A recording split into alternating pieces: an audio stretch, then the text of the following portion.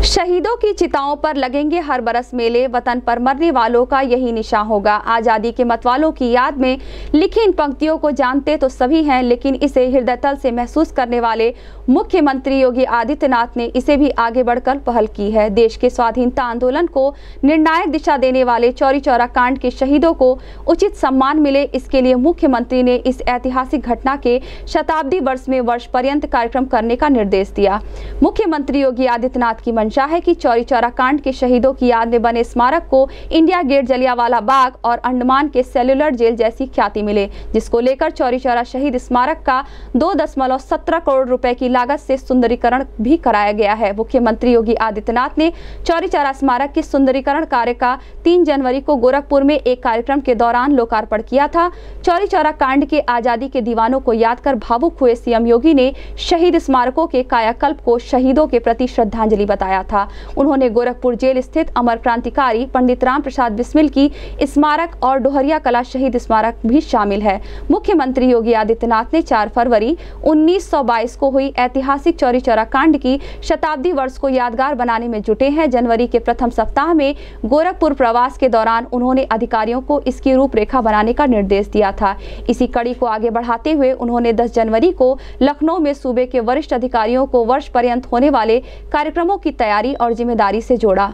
मुख्यमंत्री के निर्देश के मुताबिक 4 फरवरी 2021 से 4 फरवरी 2022 तक प्रतिदिन ऐसे कार्यक्रम होंगे जो स्वाधीनता आंदोलन में निर्णायक भूमिका निभाने वाले चौरी चौरा कांड की याद दिलाएँगे। सभी स्कूली बच्चों को इस घटना के महत्व से परिचित कराया जाएगा।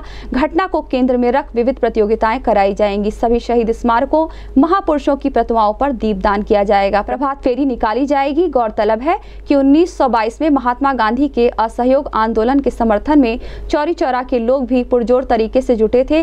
अंग्रेज़ी सरकार के खिलाफ जुलूस निकाल रहे आंदोलनकारियों के कुछ नेताओं को चौरी चौरा में पुलिस ने 2 फरवरी 1922 को हिरासत में ले लिया। इसके विरोध में 4 फरवरी 1922 को करीब 3000 लोग चौरी चौरा थाने के सामने प्रदर्शन करने लगे, जिस पर पुलिस ने आंदोलनकारियों पर फायरिंग कर दी। इसमें तीन आंदोलनकारी शहीद हो गए, लेकिन आज़ादी के मतवालों का हौसला नहीं टूटा। उधर गोलियाँ खत्म हुई तो पुलिस वाले थाने में अंदर छिप गए। साथियों की मौत से गुस्साए लोगों ने आक्रोश में थाना फूक दिया। घटना में 19 पुलिसकर्मियों की मौत हो गई। चौरी चौरा कांड के चलते महात्मा गांधी ने 12 फरवरी 1922 को अपना असहयोग आंदोलन वापस ले लिया। इस मामले में 228 आंदोलनकारियों पर अंग्रेज़ी हुकूमत ने मुकदमा चलाया।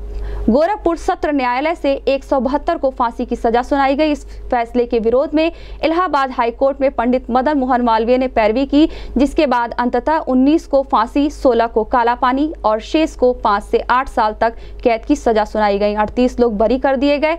चौरी चौरा कांड में अब्दुल्ला, भगवान, विक्रम, दुदही, लाल, मोहम्मद, कालीचरण, लौटी, महादेव, मेघू अली, नज़र अली, संपत, रघुवीर, रामलगन, रामरूप, रुदाली, सहदेव, श्याम सुंदर, सीताराम और संपत पुत्र मोहन को फांसी की सजा दी गई। इस घटना के बाद क्रांतिकारियों ने अपना आंदोलन और तेज कर ब्रिटिश हुकूमत का राज करने का आत्मविश्वास हिलाकर रख दिया। 4 फरवरी 2021 को चौरी चौरा कांड को यादगार बनाने के लिए जिला प्रशासन अपनी तैयारियों में जुट गया है और शहीद स्थल को ऐतिहासिक रूप देने में लगा हुआ है। इस संबंध में गोरखपुर न्यूज़ से बात करते हुए एसडीएम चौरी चौरा पवन कुमार और जिलाधिकारी के विजेंद्र पांडेयन ने कहा।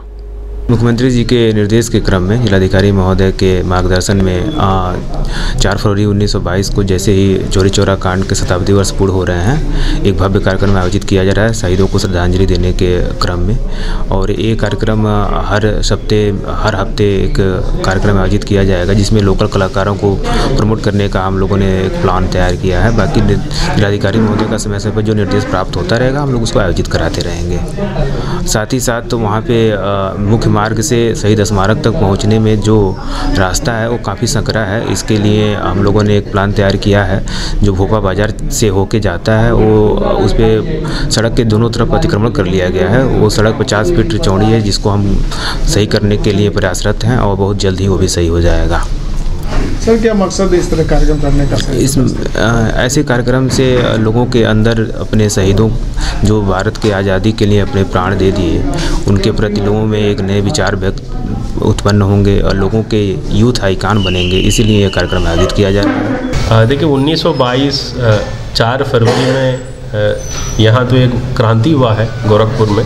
चोरी चोरा क्रां- कांड के नाम से वो माना जाता है जाना जाता है। उसी के बाद वहाँ का जो आंदोलन है, उस समय का आज़ादी का आंदोलन, उसका दिशा ही तो मुड़ गया है। उसी के बाद फिर नॉन वायलेंस मूवमेंट यानी अहिंसा के रूप में फिर तमाम योजना चल पड़ी है उसके बाद फिर हम लोग आज़ादी मिला है। गोरखपुर में उसका 100 साल पूरा हो जा रही है उसी घटना का। उसी का कराते हुए हम लोग एक भव्य कार्यक्रम पूरे साल मनाने के लिए योजना किए माननीय मुख्यमंत्री जी ने निर्देश दिए हर सप्ताह इसका हर विभाग मिल के एक अच्छा से एक सदी के रूप से 100 साल का जो सदी का वर्ष हम लोग मनाएँगे। और उसको तो चार फरवरी का एक बड़ा भव्य का कार्यक्रम होगा। उस पर वहाँ का कार्यक्रम जो उसी स्थल से शुरू होगा, कहाँ लोग का जो इंसिडेंट हुआ है। फिर कहाँ लोग 19 लोग उस पर शहीद हुए थे। उन्हीं का परिवार लोग बुला करके फिर वहाँ का जो स्मारक बना हुआ है, उसी का जीर्णोद्धार सरकार ने कर रखा है, उसी से शुरुआत करेंगे। माननीय मंत्री जी, मुख्यमंत्री जी भी आएँगे उस पर उसके बाद फिर हर सप्ताह हम लोग उसी पे कार्यक्रम मनाएँगे। वैसे स्पोर्ट्स एक्टिविटी रहेगा कल्चरल एक्टिविटी रहेगा सेमिनार होगा, फिर डिबेट कंपटीशन होगा। इसी टाइप का तो पूरे साल का हम संचालन करेंगे। और सभी का गर्व होना चाहिए था। गोरखपुर में ऐसे स्थल है। हम लोग के पास तीन तीन ऐसे जगह है यहाँ। यहाँ डोहरिया कला का कांड है। फिर ये बंधु सिंह जी का भी यहाँ से फांसी चढ़ाया गया है। राम प्रसाद बिस्मिल जी का फांसी चढ़ाया गया है।